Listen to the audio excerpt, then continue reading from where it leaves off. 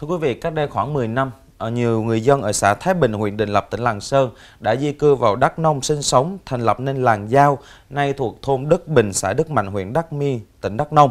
Đến nay, ngôi làng đã có gần 50 hộ với khoảng 300 nhân khẩu sinh sống ổn định. Thế nhưng nỗi khao khát một ngày được có điện đã đeo bám người dân nơi đây đằng đẵng trong suốt nhiều năm dài. Mời quý vị cùng theo dõi. Đêm dần xuống cũng là lúc mà người dân ở đây đang đấu điện từ bình ắc quy đến những bóng đèn như thế này. Và đây cũng là cách duy nhất để người dân thắp sáng cho ngôi nhà của mình trong hơn chục năm qua. Những năng lượng từ bình ắc quy này cũng chỉ đủ cho một bóng đèn sáng trong khoảng 2 giờ đồng hồ. Những thiết bị điện gia dụng này được ông Triệu Văn Hùng mua về với số tiền hơn 20 triệu đồng.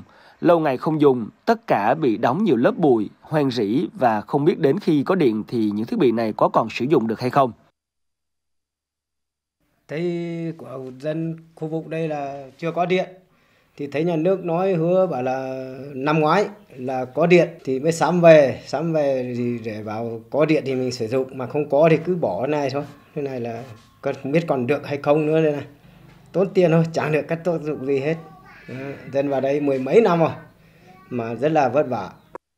Năm 2007, gia đình chị Đặng Thị Nảy cùng hàng chục hộ dân khác vào đây để làm kinh tế mới.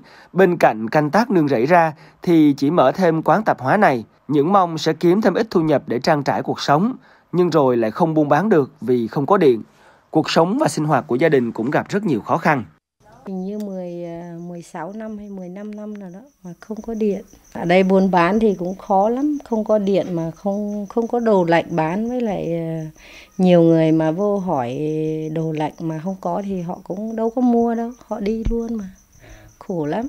Với lại con em ở đây đi học á, về là không không có điện mà để để học bài ôn bài á. Buổi sáng học về nhà đi buổi chiều học làm bài. Buổi tối, không có điện, không học được bài. Nếu như ở nhiều nơi, điện được sử dụng để tăng hiệu quả sản xuất, giúp người dân các địa phương, vùng miền kết nối văn hóa với nhau, thì tại làng giao, dù không phải vùng sâu, vùng xa, chỉ cách đường Hồ Chí Minh khoảng 8 km nhưng đến nay người dân vẫn đang còn phải sống trong cảnh đèn dầu, điện bình ắc quy.